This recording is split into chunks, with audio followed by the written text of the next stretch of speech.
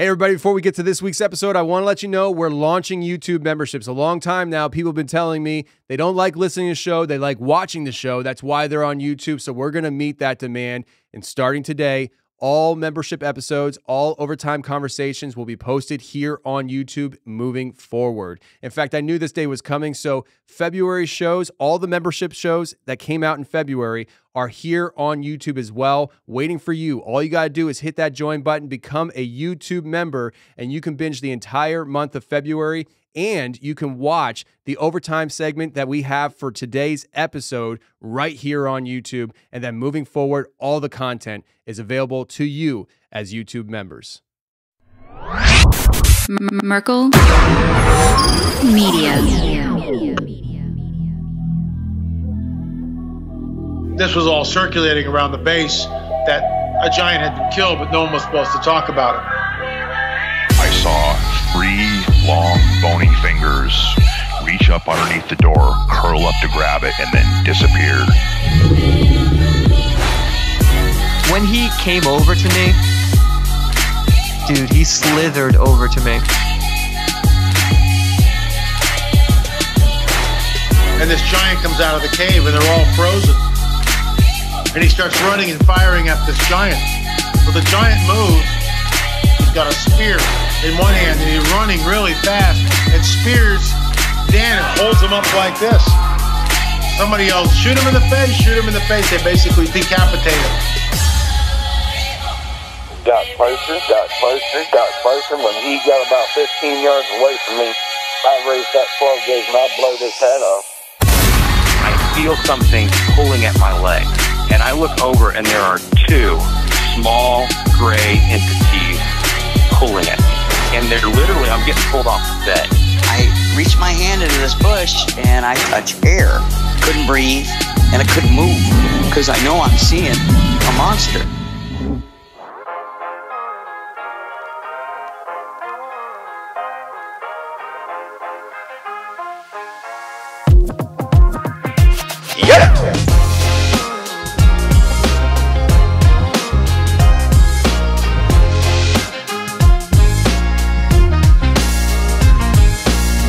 Welcome to the show, everybody. You're listening to the Confessionals podcast. I'm your host, Tony Merkel. Thanks for being here. If you have a crazy, wild experience you want to share with me on the show, go ahead and shoot me an email. My email address is contact at theconfessionalspodcast.com. That's contact at theconfessionalspodcast.com. Or go to the website, theconfessionalspodcast.com, the newly minted website.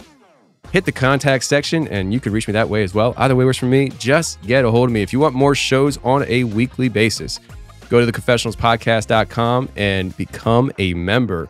With your membership, you're going to get access to the Tuesday shows ad free, overtime segments when they're available. And most importantly, every Thursday, we come out with a members episode just for the members on the website and on the Confessionals appy right there waiting for you. If you haven't done so yet, go ahead and check out Merkel Media Films. We have two of them available on demand on Merkel.media Exhibition Dogman and The Shape of Shadows. You tell me which one's your favorite. Don't say neither because that'll hurt my feelings. I personally think that The Shape of Shadows has a lot more action, but Exhibition Dogman is the apple of my eye because it's the first time I ever did something cool in my life. So go ahead, check it out, and you let me know what you guys think. Also, we're going to be getting into some conversation about weaponry and ancient technology and a lot of good talk when it comes to what was being used in these biblical days.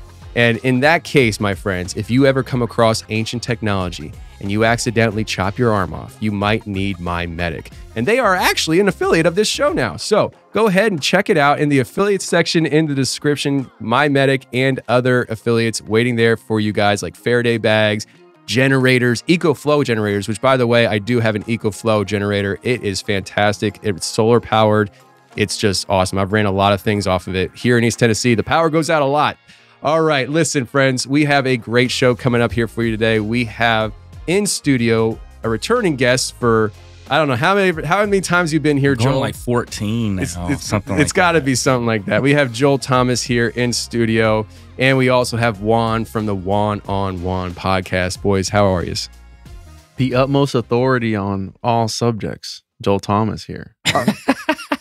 what I heard from some people. I mean, listen, that's that's what I hear too. I mean, it, it is what it is. yeah, Is that is that so, is that something that you've heard in the streets? that's what? Yeah, that's what the esoteric streets are saying. That he's always the the the main guy for all these topics. But happy to be here, excited, and it's crazy. I was saying that when I first started listening to you, I'd always wonder, like, you know, as a podcaster that started podcasting because of other shows, Mm.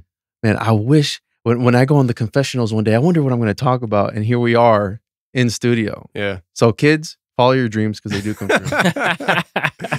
yeah, yeah. Follow your dream. Yeah, and you know what? That's the thing, man. Like, uh, we we're talking a lot about podcasting and stuff. And one thing that um, I've been saying a lot recently to people is that a lot of times people don't see their desires come true because they give up too fast.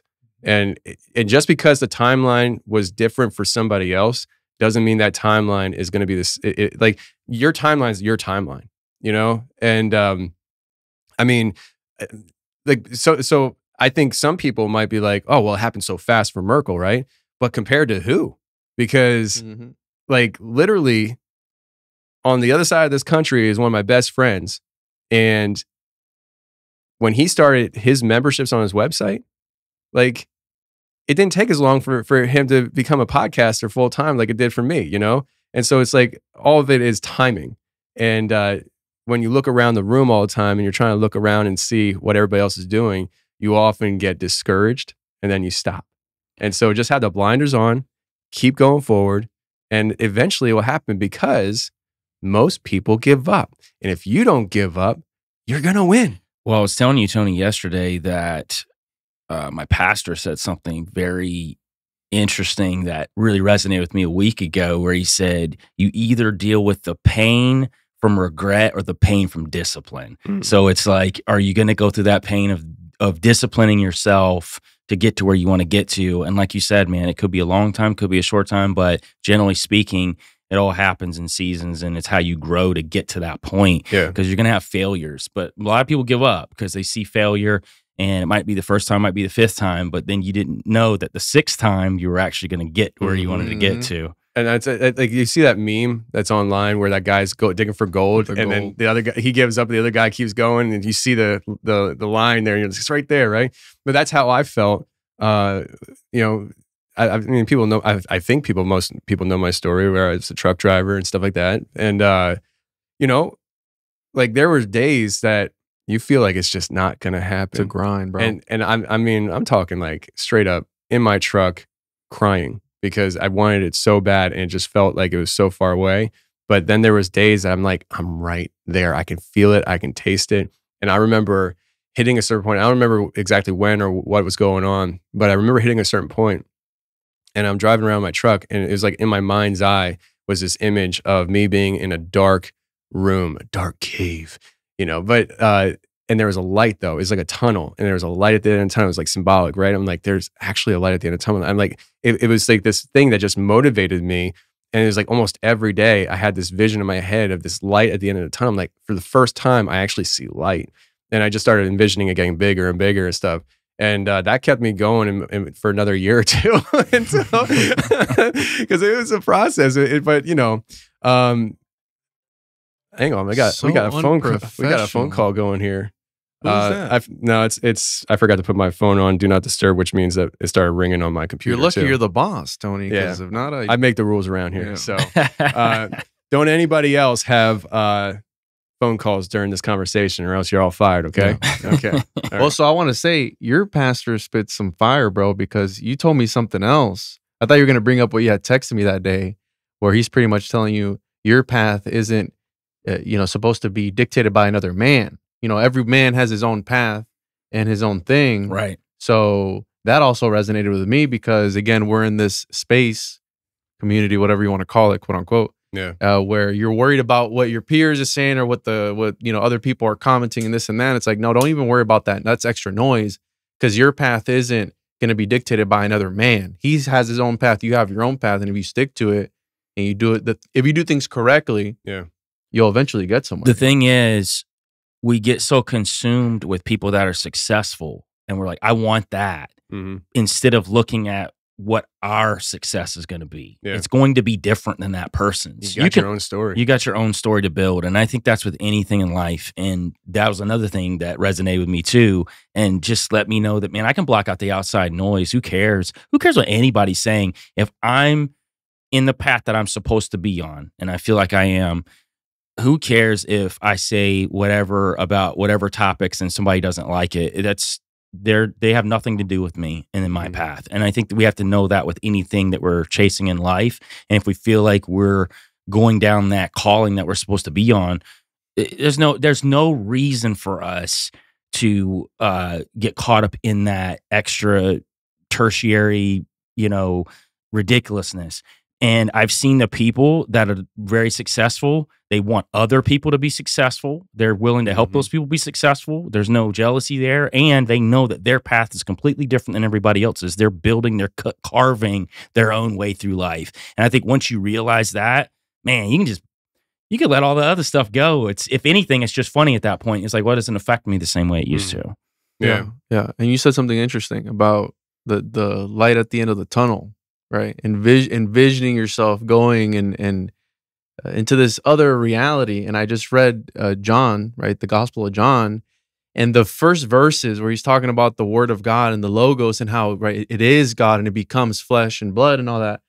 It's interesting because there are certain secret societies and certain groups who meditate upon those first few lines of the Really? Gospel of John and they do it in order to and again this is what the literature says that they're able to enter the text they're able to enter the text and interact with the biblical people inside that story so there are Mm. stories of these people interacting with jesus like going in and seeing it and confirming his existence so because i know we're going to be talking about some interdimensional stuff today too and i think that's a perfect you know envisioning yourself going into the into really anything, but in specific the the Bible, which is what we're going to be talking about a lot today too, and, and some stories. But going into these other dimensions, and I I believe I just did this this crazy interview the other day where we were talking about geometries to access intermediary beings, and he was talking about a certain chaos magician who used his stories and books to take the reader's consciousness and drop them off in other realities right? So when you when you're reading a certain book where you kind of you get into this flow state where you're, you're just reading it and going on well there's a certain technique that these that certain occultists use called the, the the cut up method where they're able to put you in a different state of mind as you're reading these texts and they and and you don't realize that your conscious is being transported to these other realms and kind of sort of fighting fights of demonic entities on the other side for them. It's, it's- So- it's, weird. to your point there, and you and I have talked about a lot of the books that we read because I buy a lot of books that are occult in nature or from occultists or whatever else. And there are times like sometimes you got to put that book down 100%. and pray or pray over the book. You know, I just bought a book recently yesterday. I before I brought it in the house, I was like, all right, like I'm not going to succumb to this, but I want it for historical purposes and understand, you know, what's going on in these texts and how these people operate. Because if I'm coming from a different angle, I like to know what someone else is thinking and the weapons that they're using against me. So I can do that from my aspect. I don't know how strong everybody is to do that. I don't necessarily suggest that for everybody, but I think you're right that there are books that are written in a way that they're trying to transport your consciousness off of the pages, like Mhm. into somewhere else where demonic entities can interact with you and attack you. Man, that's wild. That's that's There, sorcery. there's this well, Literally. well, again, grammar, grimoire, like that's connected. That's where Mhm. the word uh, grammar comes from, from a, a book of spells. I mean, that's etymology. And there's something. There's a oh, this stood out to me. There's a string of words that you can either read or say to somebody that will unravel somebody that will quite literally destroy them mentally, physically, whatever that is. But there's a string of words that'll destroy you, destroy you. it just what words are they?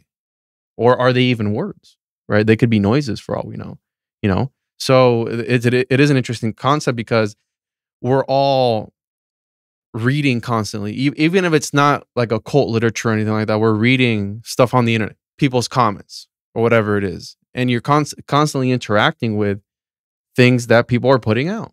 that are written.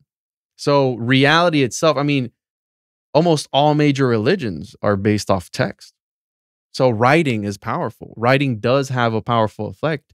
And then when you add pictures onto that, it, it blows it up even more. Because as a kid, right, you flip through the pages, you look at the the, the pictures, you're not looking at the the text. Mhm. So there's been also, right, speaking of meditative, and I was trying to find the name for it because it's got a certain name where you you enter the biblical text through through a sort of meditation, but the Rothschilds, there's this book that I stumbled across, the Rothschilds Canticles, where the the it is a book of plates and it's a book on how to you meditate on it. So they're essentially mandalas that you're able to look at and meditate and you're able to enter these mandalas and it's all about becoming one with God. So interacting What was the book called?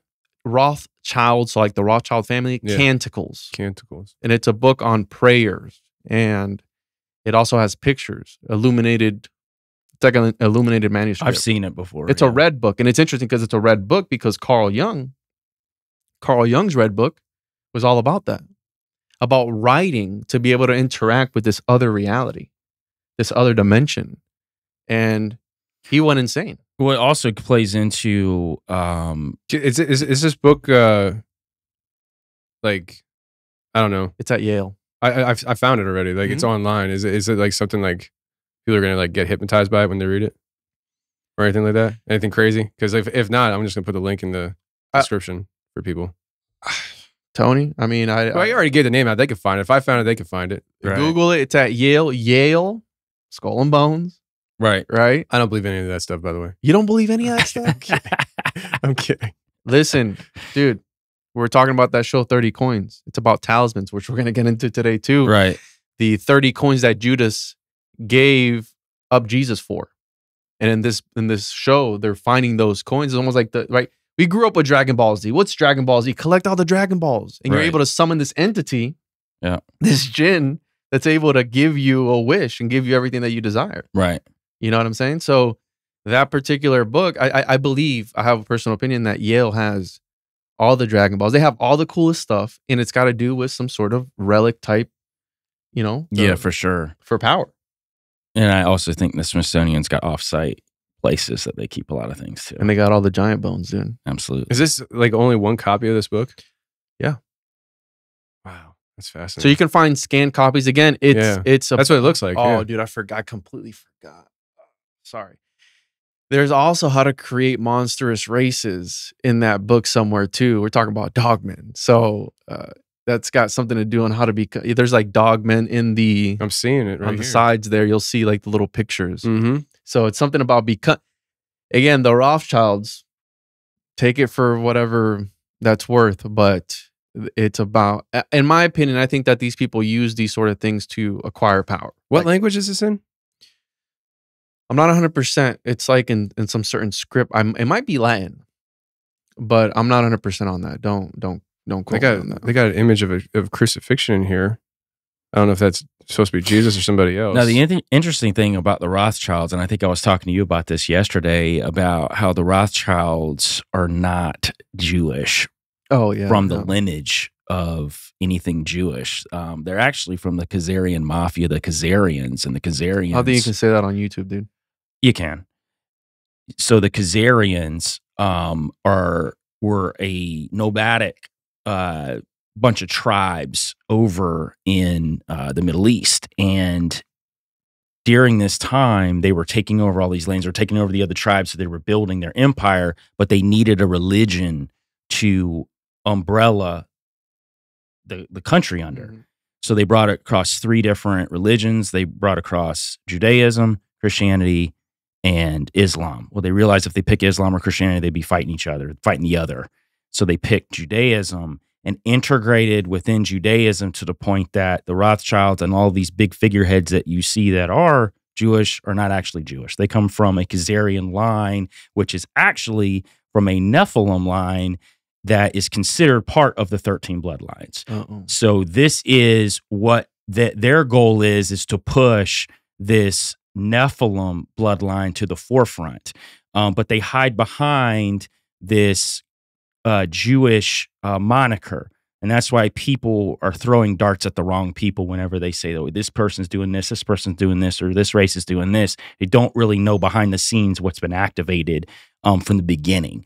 So you've got that going on. So when you're talking about the text here, um, what what where did it really come from?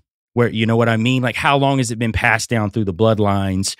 How long ago was this? Did it start with like the the bloodline of Isis or Ishtar that far back from this fallen angel, uh, these fallen angel bloodlines, and it's been passed down through these different generations. One thing I always tell people is the big bad guys that you see are just the front men. They're always the front men. It's kind of like the guys that are the richest in the world uh, they're not really the richest in the world. They're just the people that they put out there to say oh, this guy is the richest in the world. They're probably not even close to the richest in the world. The families that are the richest in the world are trillionaires, and you'll never hear their names. Mm-hmm. So it works in the same uh, operative form um, with these Nephilim bloodlines, and that's what you have to look at. This is where it comes from, um, all the way from uh, before the deluge to after, in which we're going to get into today. One big Nephilim, Goliath, and we're going to talk about this. Wait, Goliath was a Nephilim?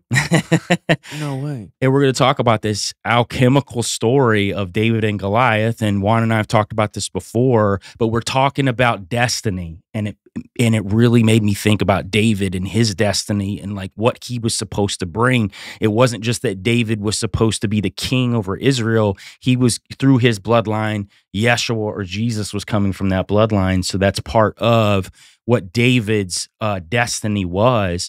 And we're talking about Goliath being a Nephilim. And we're going to start in First Samuel with Goliath. We're going to talk about what Goliath was we're going to break down David coming at Goliath. We're going to talk about the stones, which Juan and I have a lot about the stones. We're going to talk about very fantastical gear that Goliath had, fantastical gear that King Saul had as well during this whole story. This is a wild, wild story when you're breaking it down from a an aspect of what the Hebrew words actually meant and when you're looking at it from an alchemical lens because it's really interesting how that operates. But i'm just going to like just paint the picture for anybody out there that has no clue who goliath is. So you got First samuel 17 and there went out a champion out of the camp of the philistines named goliath of gath whose height was six cubits and a span. Now in the Masoretic text, which is like the original Hebrew, the six cubits in a span is roughly nine feet six inches. Now, when the Septuagint came along later, the Septuagint tried to repurpose that and say that he was only six feet six inches tall, yeah. which just isn't just just isn't true. When you're taking it from the original Hebrew, he was close to ten feet tall. So we we do know that. He had a helmet of brass upon his head, and he was armed with a coat of mail, and the weight of the coat was 5,000 shekels of brass. So he had a crazy smorgasbord of military equipment. His head, the helmet, was 30 pounds. So he literally had 30 pounds on his head. So you're not telling me that six feet six inches tall uh, not unless there's soup is a thick boy that he's rocking. Th- like you're just not putting out in your head, and it's like a and hat. It, and if if you are putting on your head, you're definitely not going to be the mighty warrior that they're claiming you to be. He's ain't no ain't nobody unless right. unless his neck is like bah, you know, right. But it gets crazier because we were just talking about his uh his ch- his chainmail. 150 pounds. It's like putting That's a small person, a homunculus, a homunculus, on your body and walking out to war. He's going out to war with that. And he had his greaves, which are for for lack of better word, is like soccer uh, shin guards. So uh, were also made of bronze. They were they were super strong. Um, so his uh, his his uh, spear was like a weaver's beam. It weighed six hundred shekels of iron, and we're talking about just the tip of it was like 30 pounds. So that's not even considering just the entire the thing. So he's he's got 30 pounds uh, in his hand as well. So he's walking out there calling these guys out. All of the israelites right there he stood and cried out unto the armies of israel and said to them why are ye come out to see your battle in array i am not a philistine and ye servants to Saul, choose you a man for you and let him come down to me. He's able to fight with me and to kill me, then we will be your servants. But if I prevail against him and kill him, then ye shall be our servants and serve us. So he's outside yapping. He's like, bring somebody to me. They're not. They're not even going to attack army to army. He's like, you know what? I'll come by myself. And, and and in those days, it's very normal. You take the head of one army, head of another army. If they're going to go at it, whoever wins, you know, it, it, it saves a lot of bloodshed and death. It's like, okay, if we lose, yeah, we'll be your slaves, and you know, we'll just work for you or whatever. A lot of those soldiers would be like, yeah, we'll just be soldiers for the other army. I don't care. It's like working for a job that you don't really like anyway. You're like, well, maybe that job is better. Maybe if our awful boss Always wanted loses, to work for Nephilim. Yeah. Nephilim Incorpor- I think there's a company called Nephilim Incorporated. Is that? I, I think I might be. Yeah. Are you serious? I think so. I thought you were trying- really, I gotta look this up. Hold on, I'm gonna- like Nephilim. Let's look this up. Did my keyboard go into sleep mode? There we go. Nephilim Incorporated. yeah, Nephilim Incorporated. From like Africa or something. like that. Wow. So shout out to those guys. Wow. Wow. Nephilim Incorporated. That's at Belize, which is interesting. In we, Belize, yeah, yeah, yeah. we just we just did a show on Belize. Oh, that's right, yeah, Nephilim coming out of the sky there. Yeah, so I, I I looked that up. I think it was either Nephilim technology or something like that, where it- it's interesting. And, and I want to also say that Pause. There's way more. Nephilim Inc. in Idaho, Nephilim Inc. in Delaware, Nephilim Inc. in New York, Bay Area Nephilim uh, in California, Nephilim vi- game uh, game studios in Florida, Nephilim Holding Group in New York, Nephilim Enterprises in Nevada, Nephilim Group in California, Nephilim Game Studios in Oregon, Nephilim Game Studios in Oregon. That's why they're wild. not even hiding anymore, bro. They're not even hi- They're just like the game studios, man. They're putting Nephilim in their games, So, man. and that's true. So Juan and I did a show almost a year ago where we were talking about uh, tying in ancient technology and Nephilim, and we actually talked about now Nephilim now, and there are so many video games where there's Nephilim lore and it's spoken of as Nephilim or Nephilim Mm. in these video games, and this has been going on for like 20 years, and nobody really knows. They just thought it was a cool thing, like, oh man, these are like these cool hybrid hybridized, you know, fallen entities or Anunnaki, you know, hybridized beings, and they don't realize like this is a real thing. These are uh, the products of fallen entities having sex with the daughters of men and creating these things. But now you're playing as them in video games because they'll be the star characters. Yeah, and and I want to add that right the way I look at the Bible, I I am aware of all of its layers because it, it is an inter, interdimensional text, and I do 100% believe that, and I believe that because it's got its alchemical perspective. There's seven different ways, right? The seven different seals that you can interpret something. Mhm. I think alchemically is one, and you have literalists because I've been diving into Ho- Hovind, and and he's like a Genesis creationist where it's Mhm. hundred percent literal, six thousand years, and this is how he did it. Which I understand that, but alchemists took it during the the the medieval times, and they were like, "This is an encoded text. This is a magical text." The Book of Genesis, for example, is showing you how to create another reality. Right, the first chapters, and there was entire like the the Paracelsus, the famous uh, alchemist, he was writing commentary, and they were going back and forth with the church as to like, hey, God created something out of nothing. Oh no, no, well he transmuted it. So they're like they're, they're arguing about the right, getting lost in the sauce, arguing about the nitty gritty details. But I just want to say that we're interpreting it from that these were real historically. These were real people. This is real stuff that they were using because you can have people. Oh, those were allegories. Sure, that's another interpretation of it. You can look at it alchemically, like you know the pook stones and all that stuff we're going to talk about. So I just want to say that we're aware that there are other interpretations of these texts. You know, Yeah. get those people commenting. It's your point, and this is just me plugging the new podcast that's going to be coming out called "Free the Rabbits" under Merkel Media. But one of the things I like to say is deeper like Bereans. So I love the Berean standard version of the Bible. I think it's one of the best versions the Bible has been put out. I think they translate from the Koine Greek and the Hebrew the best, even better than the King James. I know it's blasphemy to some people, but I honestly believe it. I've compared it to the King James version where there's some verses will be almost completely different and then i go look up the hebrew or the greek meaning of it like no, that's right. Like that's pulled from the actual hebrew or greek words.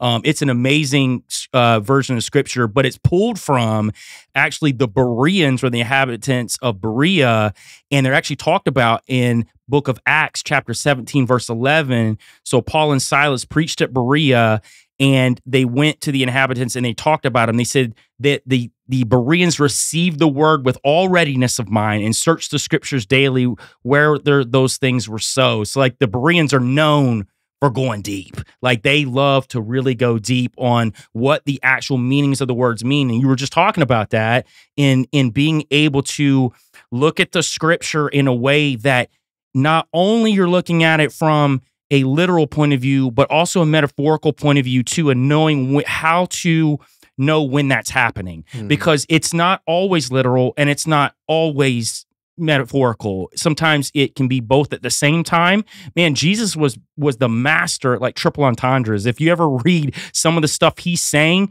there's like five layers to it. He meant like five different things at once and it's like the most simple verse where it's seven words like man like i'll read it and i'm like oh man he's saying like you know uh, five different things at once so and i think that's how, how we have to look at the bible is in layers when you're looking at it even when we're talking about and we're going to go into tons of layers today with the story of david and goliath because there's a lot of it but you got to start looking at the bible that way that yes it's literal but it's also metaphorical and sometimes it's at the same time and sometimes it's separate Mm-hmm. And it's making me think of Philip K. Dick, where in the the Divine Invasion, there is a Bible that they have. It's a holographic Bible, and they're able to lay the Bible out holographically, and they're able to stack it on top of each other, and they're able to see all these different connections, and they're able to essentially look within the text itself.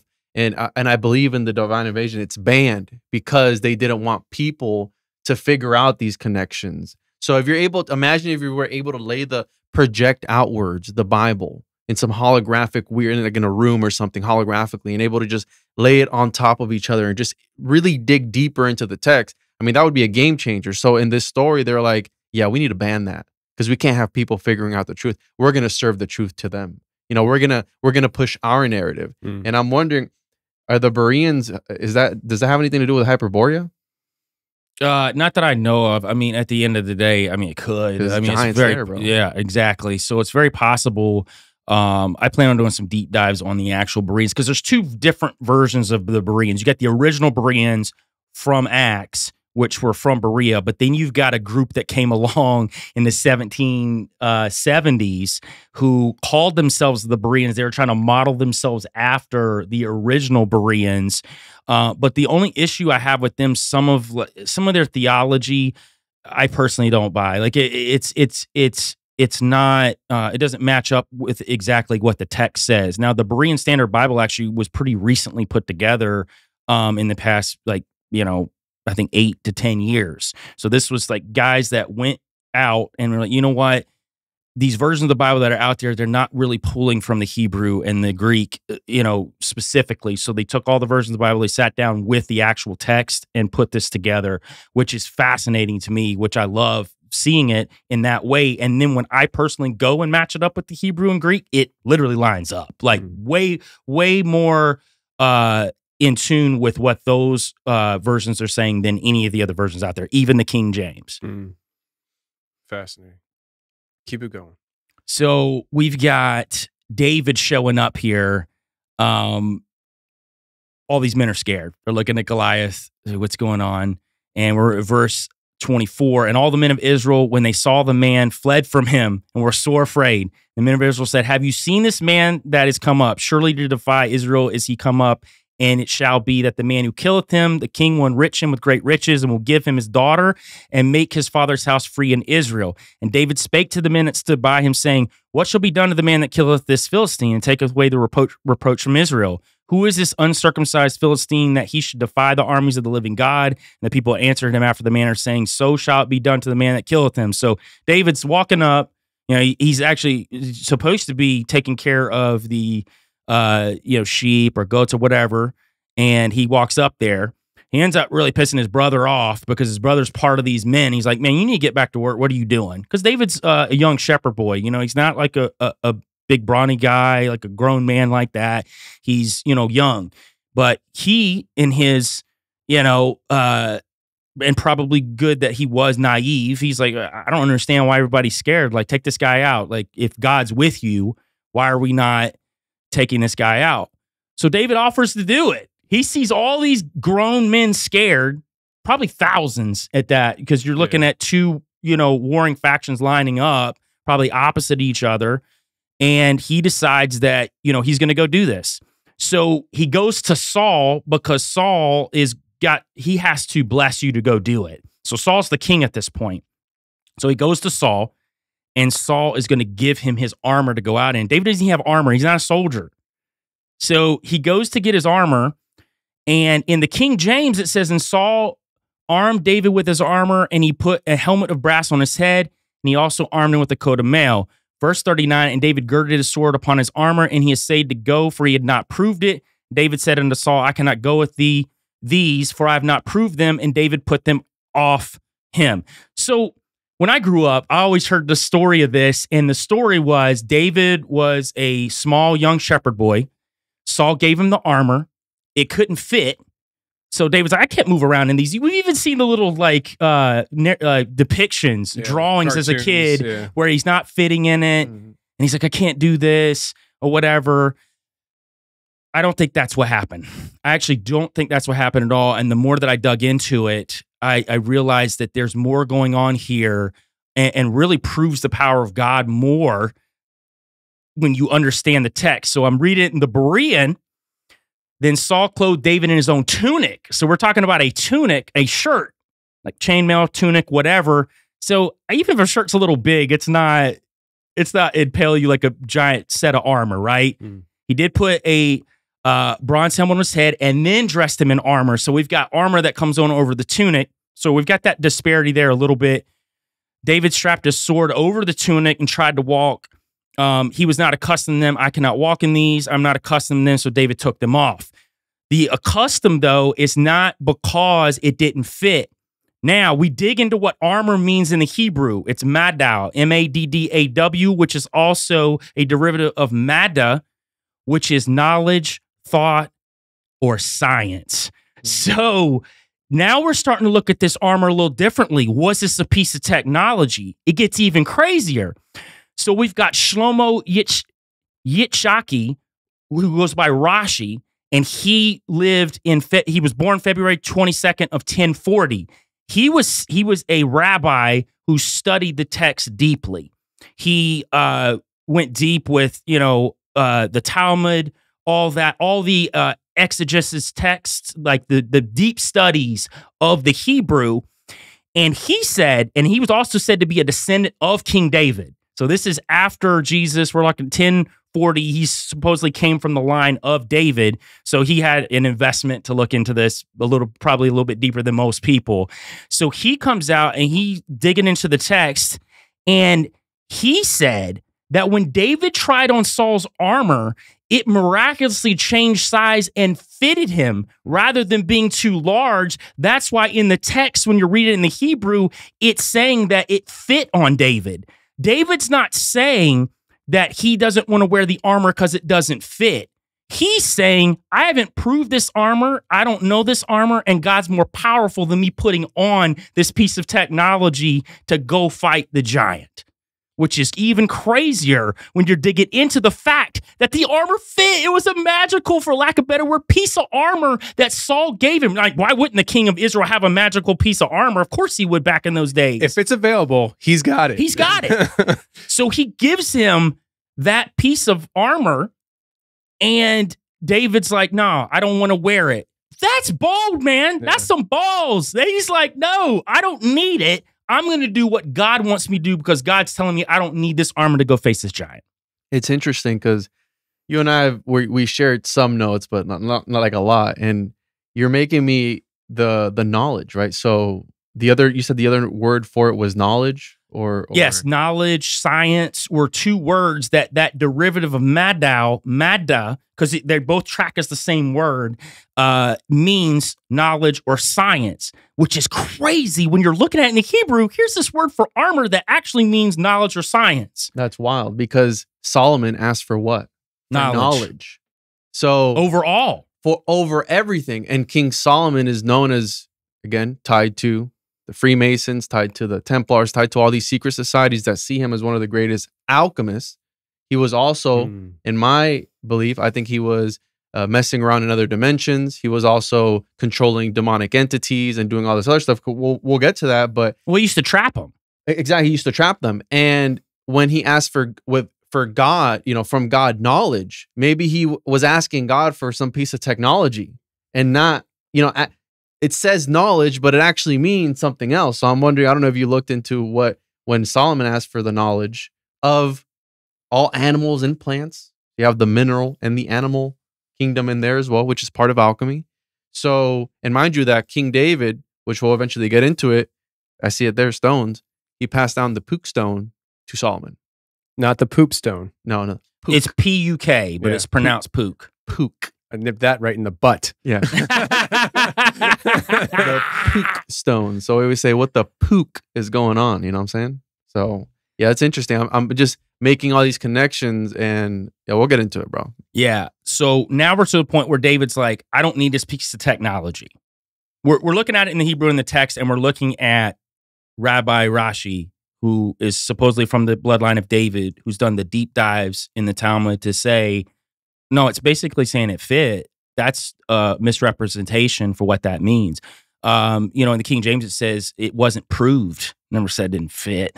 He just didn't prove it. He didn't approve it, is basically what that means. Hmm. So David's like, okay, I'm going to go and get these stones.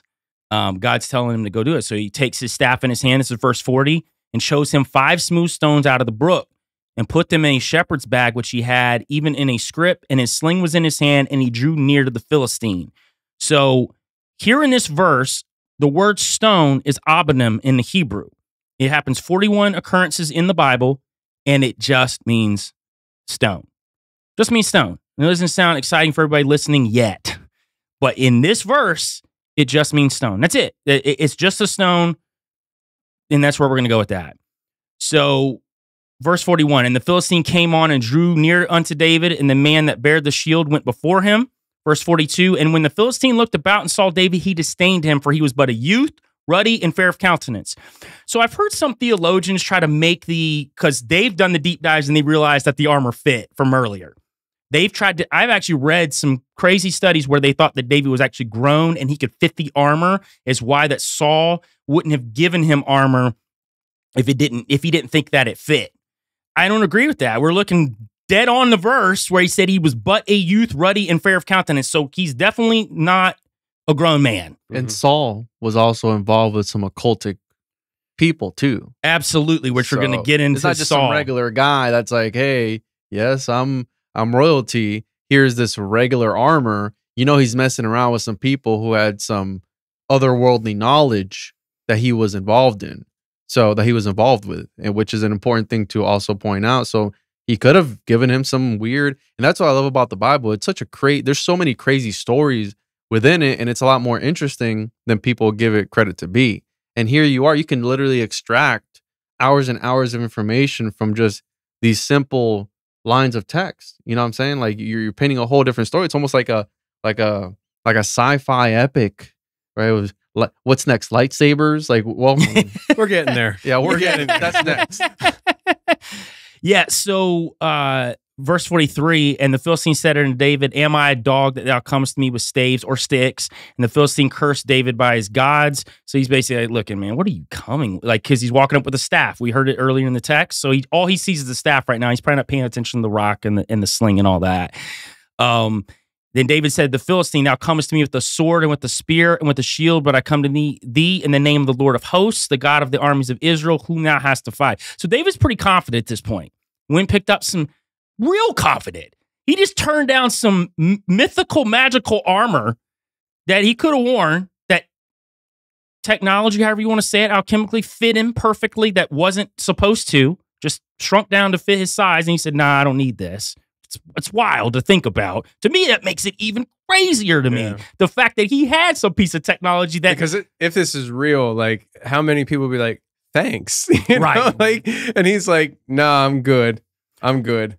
So this That's is wild. where it's going to get really, really interesting. And I know that Juan's going to go on some crazy tangents here, which I'm going to love. And this is where I'm the stone, I'm ready, bro. I'm queued up. the stone comes into place. So verse 49, And David put his hand in his bag and took thence a stone and slang it and smote the Philistine in his forehead, the st- that the stone sunk into his forehead and he fell upon his face to the earth. The word for stone in the Hebrew there is different. Then- Abonim Then was- what was was when you picked it earlier. When he Mhm. picked it up, it just meant stone. Now it's Eben, E B E N. And this is a host of different meanings that Eben can have. Eben breaks down into sapphire, which people derive from the word sapphire. One of the one of the main structured meanings that it means is consecrated. This was a consecrated stone at this point. This stone was in imbued with power from God Mhm. it was transmuted, or uh, now chemical words transmuted, it changed in that moment, whether he pulled it from the brook and it changed when he had it, or however, but it morphed, it changed into something different. This is in the Hebrew, the stone is different now. It's not the same stone. It's a completely different object at this point. which goes back to this idea of rejection of what the king gave him you know and whether he knew that or not it, it, it, sh- it let's just say he didn't know it shows uh, in that moment so much faith on his part that god's got him and then to see that as how you're you're talking about it it's like the stone it, it's like god it makes me wonder this is what i'm trying to say it makes me wonder what could have happened if he said thanks. Because because him walking on that faith then allowed God to flex and say you didn't need that because watch what I do And whether when it, when it, when he picked it up or if it's in midair and and you know I'm just in my cartoon mind I'm thinking Zeus going zap and it's just like all of a sudden it changes and it's like a boulder and it smacks in the face The rejected stone becomes the cornerstone. cornerstone, which we're going to Mm. get into those verses today too. And though, and that cornerstone is also Eben.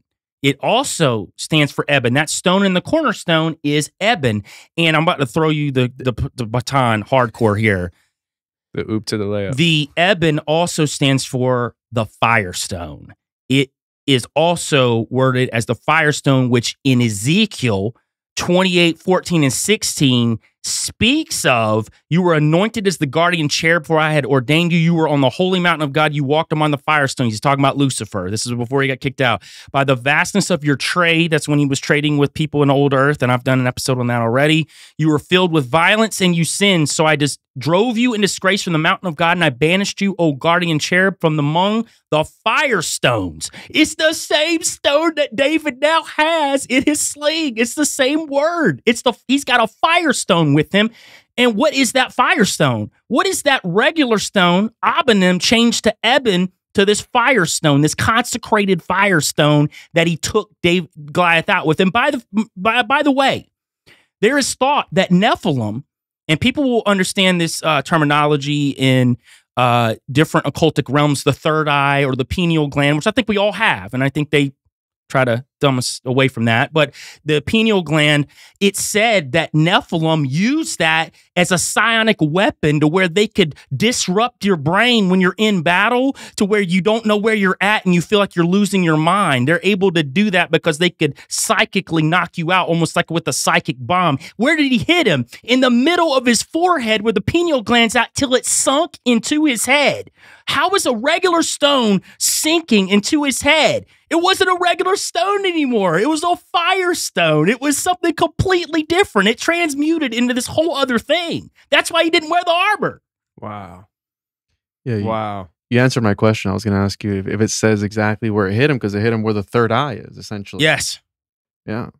And it's interesting because, right, we talk about, and you guys are in for a treat. Not a lot of people know this about me, but I was actually raised Pentecostal Christian. you said that on my show already everybody knows that All right. Anyways, I don't talk about it a lot, but an interesting part about it, because I've always talked about this, where w- when the Holy Spirit is in the house, you can feel it, right? It's like it's a, it's in the air. It's something about it, and it's interesting because Paracelsus talked about the Holy Spirit perhaps being that prima materia that helped God, because right uh, in in the Gospel of John, he talks about he was with God at the beginning. So he's talking about the Holy Spirit being present when everything is being created And let's say that Genesis is for a second alchemical, and it's about the creation of a universe, the creation of an of a uh, minitus mundus is what they call it, a small world essentially, and that God, the, the Holy Spirit was there. Well, the Holy Spirit, Paracelsus argued that that was the prima materia, which the prima materia is something that you need in order to achieve the magnum opus. And one of the magnum opus is the Philosopher's Stone, the Fire Stone, where you have the red stone and you have the white stone. One is used to make gold, the other one's used to make silver. And there's various things you can do, but think about that, right? If the Holy Spirit helped David out, let's say as soon as he slung it, he was able to conduct this transmutation through the use of the Holy Spirit because God was there to help him. It would make sense that as soon as it was going to hit him, maybe it did blow up, right? And, and it and it like doubled in size or How cool whatever. would that be? Yeah, that would be dope. But I, I would, but that would you think if that actually happened though, it would have made the text right. Like like the, Yeah. it, it became a boulder and smashed his took head, off. Yeah, yeah, it took his head off. But think about it, because we're talking about the Nephilim and all that stuff. And if we follow the lineage back, the knowledge of alchemy came from the Nephilim. And I'm just thinking outside the box here, where let's say the Nephilim did teach this too, right? And we know that the uh, Noah and his lineage was involved with alchemy and all this stuff, and that's why they were able to live for so long because they have they had the elixir of life. Let's say that they also use that tech, even if it came from Nephilim, which are darker entities, demonic in nature. Who's to say that the good guys weren't also using that technology for their own purposes?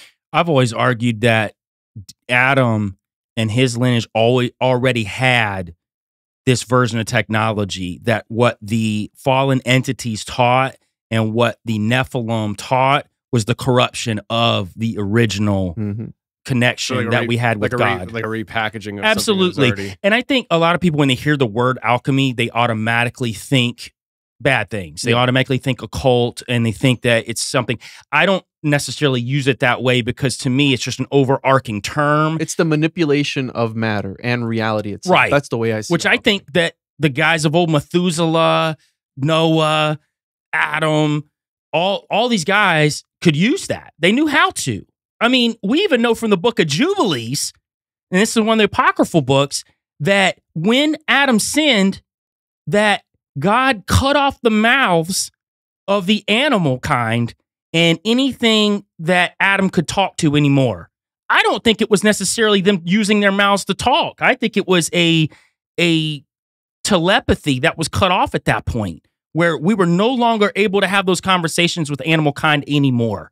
Think about whales. You know, whales have one of the most extensive vernaculars in the world. They have they have a, a bigger uh lexicon than we do. bro. That's why.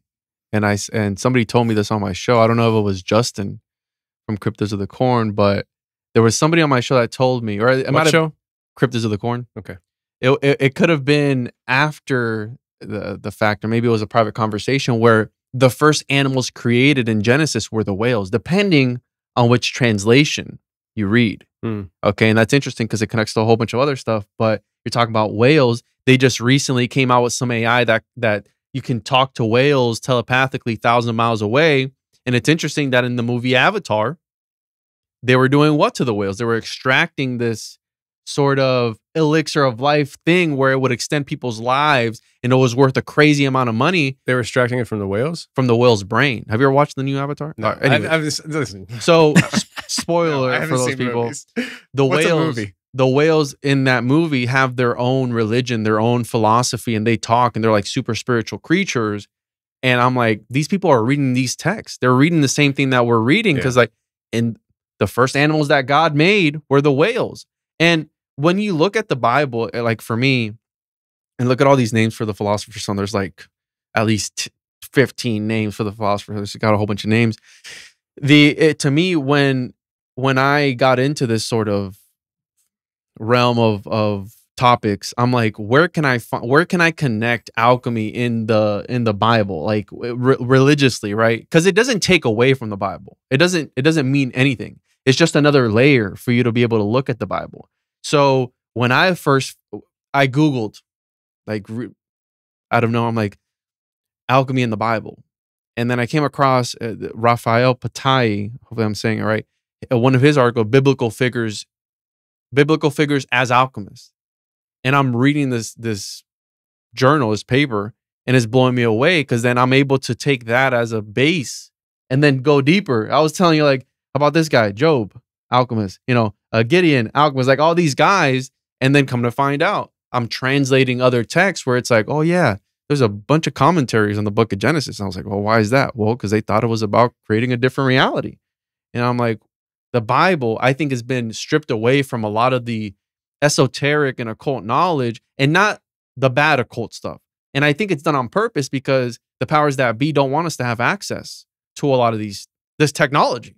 The supernatural's been ripped away from the supernatural, yeah. Bible. And you and I talk Yeah. about that all the time, Tony. And I think that was designed by the church when they first got in there because once they taught people that they had to go through people to get to God, broker. even if it's a brokerage of what the text means. Think about this. You know, there will be people that listen to this episode and instantly get angry. And you know why they'll get angry? Because somebody on a pulpit or somebody told them what the text meant. They didn't look into it for themselves. You know, I'm not we're not even saying that this is it. We're just saying this is a idea of what these texts could mean A because thinking about the text. because of the actual translations of these texts and the deeper meaning of it. Also, when you said occult for the people out there, occult just means hidden, by the way. It doesn't mean a negative thing necessarily. We do use it as a You're gonna negative call me thing. a Satanist probably from saying probably. Probably. There'll be a comment or two in there. It happens. Yeah, it happens. but I know Joel's in the zone when when you start seeing that vein right here. Oh, dude, yeah. start And- to pop out. So it's it's like when when this vein starts popping, he's hitting the zone. When he's at the, the tip of the zone, the vein right here starts popping. And that that one stays until he's done. And so Oh, like okay. so he's not done yet. So you like you just let him rock. All right, cool. Yeah, I'm using that as like anything. I'm like, oh, it's starting down here, and it's like boom, and then it comes back. All right, I'm good. I, I call it the Joelometer. okay, okay, cool. I like it. I like it.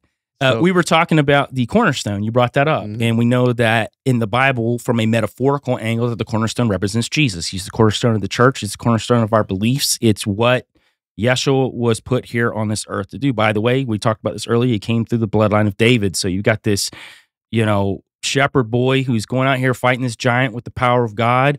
Um, at the time, he probably didn't even know his bloodline was going to have Jesus come out of it. But these these are these strong characters that were the precursors to Jesus Christ coming to us. But Psalm uh, 118, 22, the stone which the builders rejected has become the chief cornerstone. Again, the stone is Eben, the firestone. It represents this uh, powerful consecrated stone. So when they're talking about Yeshua and Jesus, he's represented as that. He is the the power stone, or like you like to say, the philosopher's stone. He is the essence of what this entire universe or multiverses for people that like to go down that road is built on. It is. He is the essence of it, the Holy Spirit, the Trinity. It's all that. And it says it in the text. But you can go deeper because there's tons of verses that talk about the cornerstone.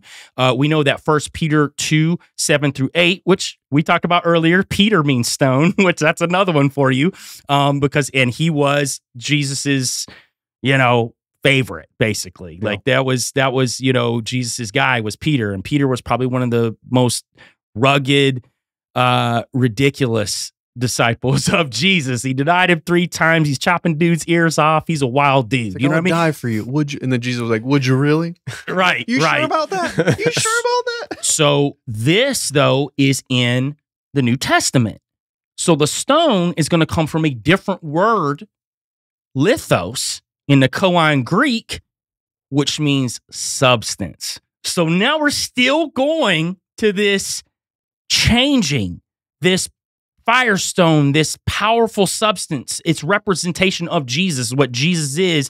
That's what, if you want to say that the bloodline of Yeshua always had metaphorical instances that represented Jesus, what better than David with a transmutated firestone that represented the very essence of Jesus? Well, it's it's interesting because again, wow, I wore this shirt for a reason. Okay, I'm not saying it's homunculus, but there's a good chance it might be homunculus. Because check this out. One of the things about the substance, I'm just thinking about Simon Magus, who's like, "Listen, guys, I want some of whatever you got. Let me buy it off of you." And maybe Simon Magus thought that the Holy Spirit or whatever it was was a sort of substance, and that maybe these guys were ru- running around in some circles that had access to technology or something, And maybe that's where that comes from because Simon Magus, right, the father of all heresies, where we get magician, maga, all that stuff from that, right? Whoops, maga means witch in Latin. Uh, so again, just be weary of, of where you get your information from because we're, we're taking these letters and these words from people who we think have the best intentions and sometimes they don't.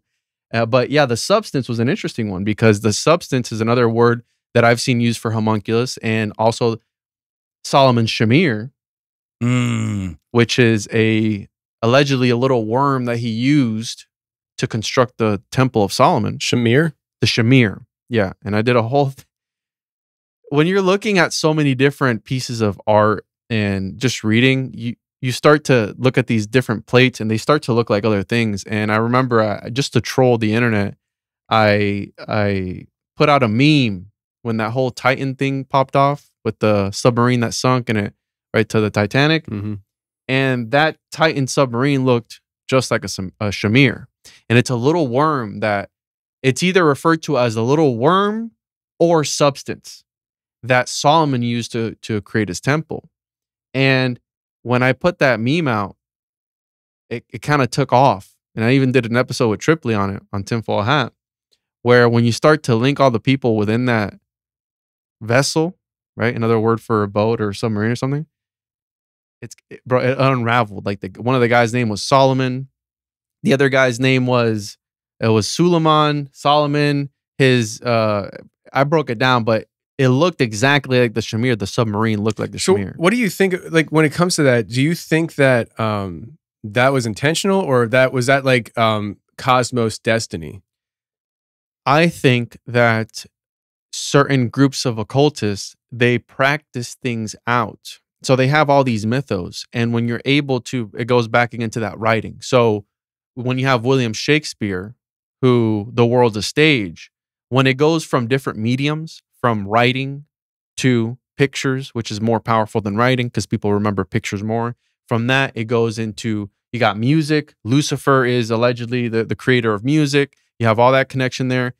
You go to movies, and then you can, if you look at a movie, it's a lot more powerful. So, what I believe they're doing is, again, through the use, the, the homunculus also plays into that.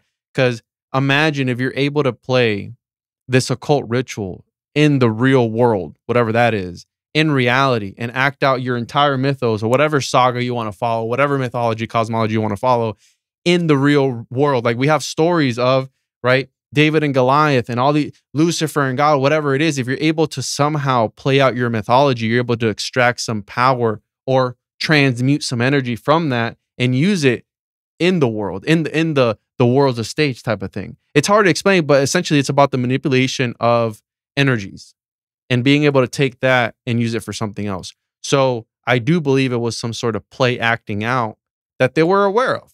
I mean, The victims of it, the guys who died. No, whoever illustrate, whoever uh, orchestrated it, because the guy that was the CEO of that company was uh, a member of the Bohemian Grove, and his dad was like the president elect at one time of Bohemian Grove. So, Hmm. what are the chances of that happening? That they're hanging around with Donald Rumsfeld and all these guys that that are elite, Yeah. right? So, who's to say? Maybe it was some sort of sacrifice. And who's to say that it was actually a sacrifice at all? What if what they're showing us is the wreckage was never the wreckage? What if, and this is to play into, you talked about Avatar earlier, and a lot of these elites are actually uh, submarine pilots. James Cameron, who created Avatar, is a submarine pilot. Ghislaine Maxwell is a submarine pilot. They're all submarine pilots. What are they going under the earth or under the water to find, and where are they going? That's what you got to start thinking about. What are these elites are obsessed with under the water for? What's going on under the water? Look at Tony's We know what's going on under the water. Look at Tony, we know.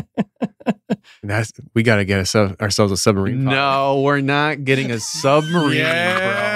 You know I'm down. Oh. He's down. I'm I going am- down with him. I'm not. So you, hey, listen. When we don't come back, the show must carry on. Move up here. I need you to fill in for us. I'll let the wife know. oh my gosh, Dude, so I- so I'm gonna. All right, so I'm I'm working on things, and I'm gonna add to the list of things I need to work on. I need to I need to learn how to do these sub I, the submarines. I need I need to learn how to pilot them. Get a I pilot think license. that like the the Meg that sort of thing where at the bottom of the Mariana Trench just like another dimension. And there's a reason why Ghislaine and all these other characters associated with her where she was training other elites. A lot of elites have uh, licenses to pilot submarines. And I think that it's not about space. I think it's about whatever is down at the Yeah, bottom of our oceans. And look at the Pacific Rim. There's these entities coming through this portal at the bottom. The kaiju. the kaiju and all that stuff. And if you look again, the avatar, what the avatar represents, by the way, the avatar are homunculi. It literally says it in the plot of the movie. They're artificially created to host the consciousness of these people. Look at what Elon Musk and all these guys are doing. They literally just posted a news article about the first human trials coming out with the Neuralink. Mm-hmm. You can all the movies that we've ever seen about the Terminator and technology Mhm. always end bad. Frankenstein was the first story about the the technology betraying you. And here these people are, but again, it's about it's about quenching the thirst of that Faustian complex that we all have. Right? About wanting to learn everything and anything no matter the cost. So Mm. these people, what's next? It's like, well, you might lose, you know, your spirit if you take on if, if you plug the Neuralink in. Would you do it? Heck no. But you're gonna be able to eh, but you're gonna be able to use your phone I don't care. without touching it, dude. no, man. Uh, you're talking to somebody who'd rather be a farmer than a podcaster half the time. Like, Maybe, okay, Joel, would you do it, bro? No. But some people would say yes. I get why you're asking the question because you're saying it from an angle of the average person. If you sell them on how it will help advance them, a great show All right, is so- Black uh, Mirror. yeah, I was just I was just gonna say. You guys talk a lot. Let me talk about this one, right? I was the same thing. Let me feel like like like, what a perfect example of that is if you offer somebody the ability to transfer their consciousness and maybe even their soul or their spirit into a digital world where they'll never die. Will they say yes because they don't have to face the consequences then of facing their maker because they never will get to that point. They'll live on forever within this artificial realm. Is that what you're going to say? Probably not. Sort But- of. but- I was going into the whole Black Mirror thing when they put the chips in and Mhm. basically everything. They could even rewind their past. Yep. But then like, certain parts of their past they could erase if they didn't want to see like somebody Yeah. that hurt them or whatever else. These are That's shows. what they're going to offer. Yeah. They're shows, but they're based on future reality. Yeah. Yeah. And When when Black Mirror first came out, when th- th- this was I don't know going on eight years ago, Mhm. seven eight years Yeah, a ago. long time. uh the, I remember the very first episode I saw. It might be the first episode they ever came out with, with which was uh, um, the the lady with the social credit system Mhm. and how that all broke down and stuff. I remember sitting on the couch looking at Lindsay. I'm like, that's real. Like that that can happen. And, and I know the, the the shows created to make the viewer feel like to walk you through the steps of how this actually happened in in the real world.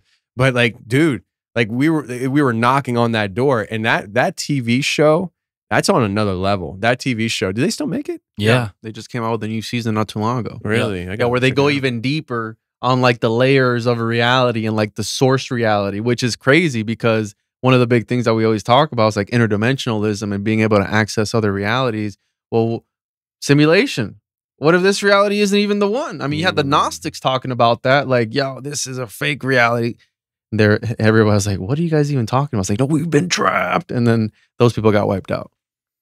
I don't Mm. know. Which usually, is- usually when the people who are spitting some sort of truth, those are usually the guys that go first. Yeah. I'm just saying. I'm just saying. Usually the people who have, we're talking about knowledge that you're not supposed to have. What if? I'm just saying. What if they they were in touch with something beyond them, and that links into the all the alchemists and everything, and why even they were wiped out because the Philip K. Dick talks about that the that the Gnostics were at this border of human evolution. That they were the reason that they were experimenting with the elixirs of life, and there's stories about these alchemists taking these elixirs or, or giving them to to other people. So entire royalty would have court of alchemists working 24 hours a day, trying to create the philosopher's stone, trying to create the elixir of life. There's a reason why at the terracotta warriors, the, uh, the uh, the whole army, there's a pool of mercury there. Mercury was very important because they were there were stories about alchemists taking these elixirs, their nails, teeth, hair, everything falling off, and they were being rejuvenated. Right. But you can also take that and what have you taken? You turn into a dog man or or a Bigfoot or whatever, anything else, like something otherworldly, which I also think was also happening in, in that Rothschild Canticles. I read somewhere where it was also how to create monstrous races, and, it could be there. I, have to double check. Don't quote me on that. But I think that uh, that also plays a part to it. So if the elites are interested in this, and by the elites we're talking about the major powers, you have uh, very wealthy people. Uh, Jeff Bezos looking for the elixir of life. You know, there, that that was an article like a year ago or something like that. They're they're in the know. You know, they they they they even if they're not directly reading these the these texts, they have people who are reading it for them, and they're Mhm. like, uh, "Just tell me what I got to do, bro." Yeah, it's What do I kind of like do? you were talking about the court of alchemists. They have their own court of alchemists. Yeah, hundred percent. Yeah, they got guys working for them 24 7 to get to that point. To quote a Freemason, and I'm not a Freemason, so just to quote uh, one of these things that Manly P. Hall says is that the alchemist, he's instead of having these rows right with the with the hood and being in a cave, he says that the alchemist is his his clothing is replaced by a white lab coat and four walls. So I don't think that that anything has really changed. It's just the setting that's Mhm. changed. The times have changed and things have Yeah. Gotten I more mean, advanced. What you're describing and stuff, I, exactly what I was thinking with the whole uh, Hitler Nazi thing. Like it's it's Yes. become so well known of what he was doing, and people are like, "Can you imagine a leader of you know was was planning this and doing this? It's crazy. It's so out there. It's so wild. It's so rare. In reality, this has been happening far longer than Hitler, and it's just there. Like you were talking about earlier about how certain structures of organizations will piece out the information that they want you to have. Mhm. I forget what example was being. Maybe in the church that we were talking about. Like that's the pl- classic example of that is that th- these are historical things that have been happening for such a long time, but they're only giving us the Nazi stuff. That's the trigger, and Yeah. it, it- and that and that makes you so. occult. And as the as, as a human being, maybe it makes you so consciously uncomfortable that it's it becomes the wall that you can't see past in the timeline to see all the other times that it's happened. Does that make Right. sense? Did you just say that they psyoped everybody? Is that what you just said? That they're, they're I didn't say the the word that's going to get this channel banned now until you. No, I'm just kidding. so no, so so no, but you're right. It's like the truth is stranger than fiction. Yeah. Right. So focus on all this other negative stuff. Focus on all the other stuff that they did to those certain people. Right. I'm not gonna say it, but and ignore all the other stuff that they were doing where they were trying to go into Hollow Earth and and all this other Mhm. crazy technology. They had entire. I think they had witches and everything, the Vril Right. and all that stuff. I mean, that's Mhm. part of. Some people say that's a conspiracy, but I I believe otherwise. Well, and to your point too, Tony, and Juan and I talk about this a lot because there are there's a section of people who really don't like it when you start talking about the fantastical aspects. It's like, oh, that the aliens and, and, and Nephilim, and that's a distraction, distraction from from what's really going on in the world. What you need to start understanding is it's all connected. So the wild, crazy stuff is connected to that geopolitical side that you keep talking Mhm. about too, because those guys believe in it more than you do. They're acting on it and they're doing it. You just talked about Jeff Bezos looking for the elixir of life. You got these guys who have a lot of money, a lot of power, and they believe in this stuff. They believe in the occult. They are acting it out, and they're not acting out because they don't think it works. They've seen it work. Yeah. So that is a fact. So if you want to talk about what these aliens might be or what these Nephilim might be, and there might be a ton of different answers, but to negate it and say it Mhm. doesn't exist, it, it's it's absolutely not there, is to negate the fact that people in power believe it. the people that you want to follow believe it. Right. You know, like the people that you want to believe believe it, but you don't want to believe it because they're telling you not to believe it. Yeah, Right. exactly. Right. That, that, that's wild. exactly how- And it goes to what you said about the Bible early on. And I think this happened, you know, after Jesus left the earth and when the Roman Catholic Church came in and you saw a lot of those structures started being added. You saw a lot of guys fighting over what Bro, the scriptures meant. Freemasons edited the King James version of the Bible. That know is a rabbit Like, hole to go that- down that- too. That's that's if you want to. Well, for some people, mainstream history is fake as well. But that's history right there. That's history 101. You know what I'm saying? That one of the first, one of the guys to to establish Freemasonry, you got Francis Bacon in there, edited the King James version of the Bible. So, so, what was taken out or what was injected? Right. The- What it's is a it? The. Geneva Bible? Is that, is that I, I always those were the two. We were talking about this last Last night. We were talking about the fight over the Mhm. Geneva Bible and the fight over the King James Bible. yeah. I mean, if you know anything about King James, he wasn't a good person at all. Like he Yeah. was pretty Nope. pretty wicked. Some of the things that they took out of there was clearly just because he wanted to establish control. I forget the verses and stuff, but they talked about like um, it was referencing the government and how uh, we, we it, like in the in the Geneva, it was referencing how uh, ah man, I'm, I'm gonna butcher this, so I'm just gonna let it go. But it was it was referencing the government, and he's like, no, I don't want that in there because then they're, it's gonna give them license to Right. not follow what I say, but what God's saying. Well, Right. Let's talk about the demonologia that King James was also writing about. So speaking on the fact that you're saying that, oh, we we can't believe the supernatural. Well, you had entire guys writing books on demonology. King James was one of the first guys to write about demon, writing about demons, witches, vampires, all co- co- uh, kind of crazy stuff. You can read for you can Google this right now. You can pull it up, and this is the guy that was responsible for the 1611 King James version of the Bible. Hmm. Okay, and again, I'm not saying that God doesn't inspire things and gives messages to and people. control it anyway. I And think could- that's yeah. one thing that. Why don't I go back and forth on this?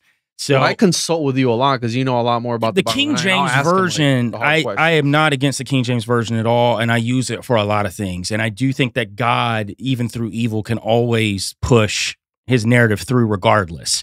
Now, when I'm digging into the deeper meanings of these texts, I do like the Berean Standard a lot, and I'll speak on that a lot just to people because I like going to the actual meanings of these words. Because listen, a lot of this supernatural stuff was taken out. And take the evil message of King James and some of those guys out of it. Some guys like switched things or didn't uh, translate things in the Bible. One, they didn't have a translation for it. Two, they didn't want to scare people because they were like, man, we start talking about giants and putting all this crazy stuff in here. It might scare them off to where they don't want to read the Bible. And that's man, right? but I do think that God influences what he wants to get out. So I want to put that out there too. yeah. So again, it's it's a it's a crazy road to dig into that, and he and I love talking about the King James Bible and what that really means.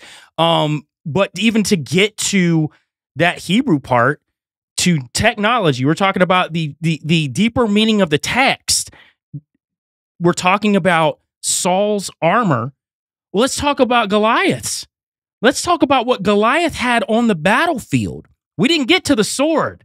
We didn't get to lightsaber. the piece of technology that Goliath had on him. So in verse 50, so David prevailed over the Philistine with a sling and with a stone and smote the Philistine and slew him, but there was no sword in the hand of David. Now remember, when David walked out on that battlefield and looked at Goliath, what did he tell him? Your head is mine, literally. I'm going to cut your head off. That's crazy. He didn't have any, he didn't have a sword on him. He told Goliath, Your head is mine. He walks over to Goliath, a young shepherd boy walks over to Goliath. Therefore, David ran and stood upon the Philistine and took his sword and drew it out of the sheath thereof and slew him, cut off his head therewith. And when the Philistines saw their champion was dead, they fled. Okay, let's really think about this. This young, small shepherd boy tells a giant before he hits him with a consecrated firestone to go inside of his head. This is scripturally inside of his head, goes through his head. He tells him, Your head's mine. I'm cutting it off here today. Tells him that. With what sword? How did he know? Then he goes over and picks up a giant sword, a Nephilim sword, a small shepherd boy. Wait a minute. What, what kind of sword was this? Got start. We got to start looking at the text. So the Hebrew word for sword here is harab, and it also attributes that same word to the flaming swords Hmm. of the Garden of Eden and the cherubs held, and also the sword of Yahweh, worked at as an instrument of his judgment. So we're already attributing this word to angelic technology. Some sort of angelic technology, Nephilim technology that Goliath had. But it still doesn't explain how David was able to wield it, right? We don't really understand that. But we start digging into the Midrash, and the Midrash is an expansive Jewish biblical study using a rabbinic mode of interpretation prominent in the Talmud. So these rabbis would go into the Talmud, they would, you know, look look at these meanings of these Hebrew words and figure out, okay, what does this really mean? Like it, they're digging, they're they're looking for the knowledge within the text. They want to see what's there that no one else is seeing. And according to the Midrash, Goliath's sword had magical powers. It is believed that it was able to change size and weight to match the owner. So, this angelic technology, anyone, whoever wielded it, it would change to fit. That was their finding. Yes, their So finding. This isn't this isn't you finding it in like meaning of the words. of These the are text. This is- rabbis this that them finding- dug they- this is forever. published. This is published in the stuff. Talmud, yes, in the Midrash, which is in a study and Wow. exegesis of the Talmud of this text, they're saying that yes, Goliath's sword had magical powers. It could change the size and weight to match the owner. When David picked it up, he knew it was a piece of technology. It morphed to him in his size, and he cut his head off.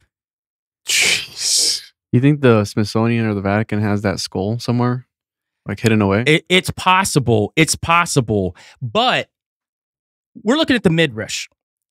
But I've got biblical, biblical verses that will back this up later on in the text. So go ahead. No, just keep going. Keep going. I we we need to we need to to finish what you're saying because I don't want you forgetting. And then we gotta take a bathroom break because I gotta go to the bathroom so bad I can taste it. So You Okay. have drank these I things, know. bro. So David, after he kills Goliath, at some point in between these, ver- in between, you know, in, in First Samuel, Saul is gets jealous. We all know this. Saul knows that the kingdom wants David to be king. This shepherd boy went out here and slaughtered this Nephilim with a firestone, and then chopped his head off with an angelic piece of technology that morphed to him after he told Saul, I don't need your technology because God's going to find a way. Pure insanity when you think about I mean, I just think about having that kind of like bravery. Like, no, like that kind of faith. I Yeah. mean, so like the the interpretation that I've always um gone with with that story is the fact that this dude because all right, so years ago somebody challenged me on the story of David Goliath, and they said that clearly David didn't have faith that God would come through for him because he picked up five stones when he could have just picked up one to do the job. and I was like, this is so stupid. And and and I, I kind of broke this whole thing down. But um the fact that, that he had like so on my thought process of the faith aspect, like the fact that he had that much faith that he's like, no, I don't need that technology because that's not gonna compare to what you're about to see. right. Like, and he does, he like, th- uh, nowhere in the scripture does it say that David knew what was going to happen. Right. He had the faith that he, it, through faith, he knew whatever was being offered to him was not the, was not it. Right. And that's crazy. That's wild. And it gets and it gets crazier because you're now seeing Saul, who's angry at David. David goes on the run. He has to hide from Saul. So this is a point where, you know, David goes through some questioning, like, God, why are you putting me through this? You know, he wouldn't have had a hide from Saul he would have taken that magical cloak to begin with. You know, right. he would be like, I got you. No, i don't even worry about you. So he's running from Saul. David goes to the town of Nob, where he visits with a priest named Ahimelech. David tells him that he has an urgent mission from the king and needed bread and weapons. So he kind of like lies to Ahimelech and is like, listen, I got to come here. I got to get some stuff. And people revere David. I mean, come on, like look what he did. So the priest tells him that the sword of Goliath the Philistine, whom you killed in the valley of Elah, is here, wrapped in a cloth behind the ephod. And the ephod is those like yellow aprons that you'll see the high priest wear in Judaism. And he said, if you want it, take it for yourself, then take it. So he tells David to come get the sword of Goliath. So they're keeping it in a sacred, holy place, this sword of Goliath. So that's already telling, like, and, and people could argue that it was just a, you know, an homage to what happened. That doesn't seem, as you're reading through the text later, on what that really means. This is good. 1 Samuel 21 9. The priest replied, The sword of Goliath, the Philistine, whom you killed in the valley of Elah, is here, is wrapped in the cloth behind the ephod. If you want, you may take it, for there is no other but this one. So he said, There's no other weapons there. So that's telling. They don't keep anything else there but this sword. And David said, There is none like it. Give it to me. So there's nothing like it. There's no other sword like it. It's not a sword, it's a piece of technology that they left, that they kept, that these all of these priests that worked in that worked in this temple in Nod kept. They allowed David to come get it, but David wanted that sword. I need that sword because if I'm on the run and st- and people are coming at me, I want this piece of technology because this piece of technology will allow me to be able to fight off your little puny swords. That's wild. Yeah. Yeah. Are you gonna get to the part where they go and ransack the tech of the other Nephilim? Where they go and find his brothers and also take their technology? So that is funny, and I've actually talked about that before on this show. But Oh, that that breaks down later to when David becomes king, and then he and the mighty men go to hunting Goliath's siblings in the mountains. And uh, Good- good you're Nephilim? actually talking about Second Samuel 21, 16, uh, and Ishbi-Benob, which was one of his brothers, which was the sons of the giant, the weight of whose spear weighed 300 shekels of brass in weight, he being girded with a new sword. A new, as they say, that means a new, but there's no word for sword there. They supplemented that word, that Hebrew word, which we don't even know what that Hebrew word means. It was a piece of technology. You know, I've talked about this before, but that is a throw. That's a, a late. That's a throwback to this what we just talked about. This piece of technology that Goliath had. So we know that these Nephilim were working with crazy alchemical technology that their fathers gave them, that taught them this technology that David was able to wield. That's wild. All right. So listen, Jack, how long have we been going? Hour and 24. This is a good spot where we're going to take a break. We're going to take a bathroom break. And when we come back in, it's going to be an overtime. And we're going to move Okay. into overtime and uh, take this conversation to other directions and uh, have some fun with it. Yeah, Sounds good? great. All right. Everybody listening, thank you very much for tuning into the show. You guys are awesome. And until next week, you guys, anything you want to say before we get out of here? I am. So speaking of interdimensional, I know you plugged your podcast that's coming up here soon, the new show. I also have a. Well, speaking of homunculi, because you talked about uh, Go- Goliath carrying a homunculus on his back. Well, in my comic book, The Chosen One, issue two, which if I get this out, I'm able to pump out other issues, get Merkel in there, get Joel in there, get a whole bunch of people in there. In issue two, Tripoli actually has uh, Johnny and XG on his back as as homunculi. So it's Tripoli carrying them on his back and they're little homunculi on his back. And you can go to chosenjuan.com, sign up for the Kickstarter on there, which by the time this airs, it should be out. So yeah, check that out. Chosenjuan.com for the uh, issue two of the Chosen Juan. It's like a it's inspired by like Rick and Morty. It's really weird and funny, and just we we make fun of conspiracies and have fun at the same time, you know. Uh, and yeah, you can check me out tjojp.com, patreon.com slash the one on one. You can go to Linktree uh, slash Joel Thomas Media. You can find anything from my music to the new podcast coming out uh, at Joel Thomas Media anywhere right now. That's where you're going to be able to find me. I got a ton of crazy projects coming out with Merkel Media. Tony and I had a long talk about one of the insane ones that we got coming out. So that's going to be mind blowing. Bonkers. Yeah. I'm proud of you, Joel. Yeah. So proud of you. Appreciate that. C- come such a long way, you know. I'm proud of all you guys. You guys are doing great.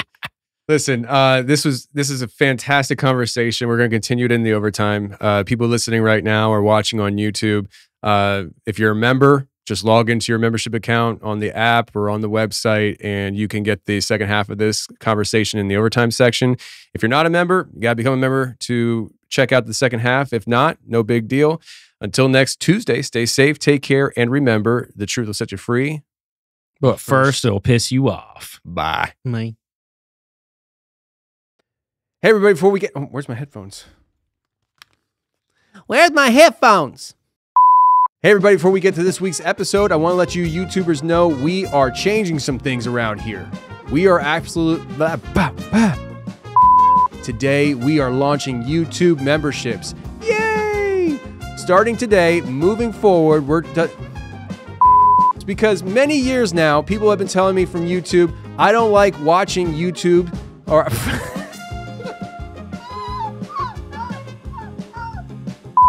Hey everybody, for blah, blah.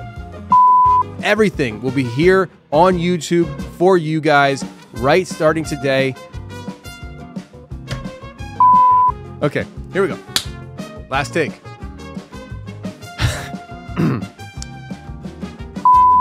It's not that hard. It's like 40 seconds. Just get it out of your mouth. Hey, everybody, before we get to this week's episode, I want to let you know I was cooking. I was cooking. Hey, everybody, before we start this episode today, that's not what you say. Hey, everybody, before we start this show, nope. Hey, everybody, before we start this show, no. What's this, what's it called? Episode, right? Hey, everybody, before we start the episode today, nope, that's not what you're saying. What was I saying? Do you remember? Do you think I have enough outtakes that you can work with? you're like, yeah, you've been recording for 10 minutes and 35 seconds, yeah. Hmm. Okay.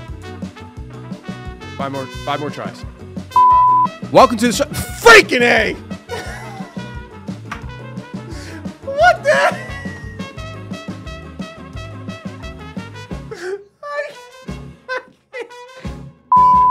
Two more tries. And then moving forward, all the content is available to you as YouTube members. That was it! That was freaking. I got. I did it. That's the one. That's the one. Okay. That's the one I want. That's the freaking one I want. We're done.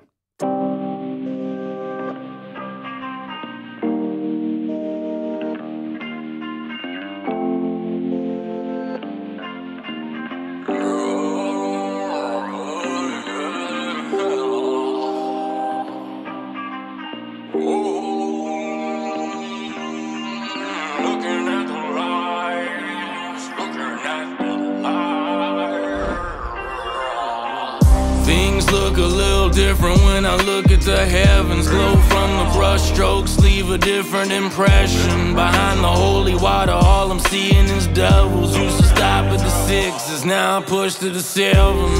This is my confession. Whoa, whoa, whoa. The lights around me beckon. Yeah, yeah, yeah. I'm Lost in my reflection. No, no, no. I ain't trying to go away, yo. I don't know if I'm caught up in the lights on the mesa. They're so bright.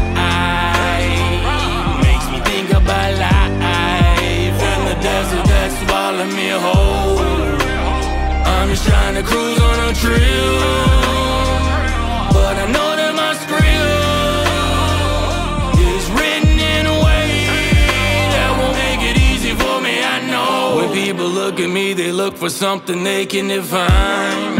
I just never knew a box I couldn't decline. I never thought of being one of a kind. I just spent my time elevating my mind. This is my confession. Whoa, whoa, whoa. The lights around me beckon. Yeah, yeah, yeah. Lost in my reflection. No, no, no. I ain't trying to go away, yo. I don't know if I'm caught up in the lights on the mesa. They're so bright.